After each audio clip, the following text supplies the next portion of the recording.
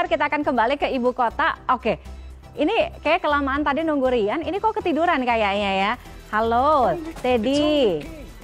Ayo ini waktunya kerja loh, kerja nggak bukan tidur. Eh, coba kameramennya dibangunin itu, Teddy Zuhari. Kayaknya keenakan ya, pasti habis makan siang, sepoi-sepoi, dia tidur ya hamok kayaknya. Halo, Teddy. Itu sebelahnya siapa? Mungkin boleh dibangunin. Live ya. Nanti Aduh maaf Tiffany saya nih. karena suasana di sini terlalu mendukung untuk beristirahat healing-healing di tengah kota nih saya jadi ketiduran nih. Ini udah sahur apa buka puasa ya? Oh, ini saya harus live report dulu. Dah